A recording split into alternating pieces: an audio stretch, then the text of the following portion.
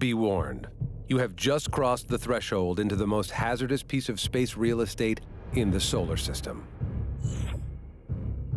At Jupiter's magnetosphere, there's almost nothing that can protect you.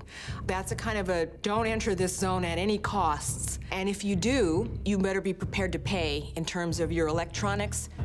You know, you are toast. Step inside Jupiter's raging magnetic field, and you enter a radiation hot zone of staggering intensity, where incoming charged particles from the sun are whipped into a relativistic frenzy. Buffeted by the solar wind, the magnetic maelstrom streams back almost as far as the orbit of Saturn.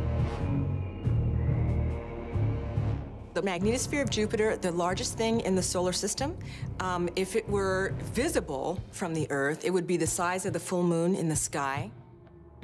This was like a magnet to NASA, setting off for deep space for the first time in the early 1970s.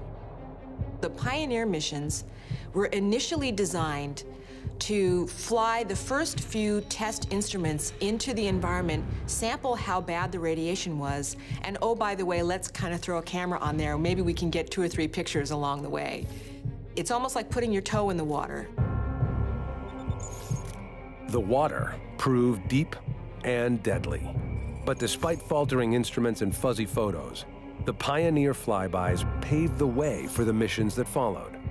What Pioneer told us was that Jupiter's radiation belts were even more intense than we had anticipated.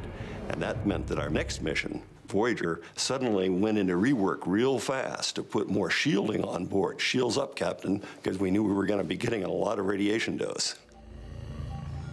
When the space-hardened Voyagers 1 and 2 flew past in 1979, on their way to the outer solar system, Jupiter's great mysteries only deepened how were these powerful magnetic storms generated inside a giant ball of gas?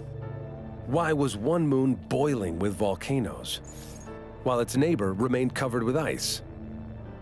And what lies beneath Jupiter's clouds? It was Galileo's mission to investigate.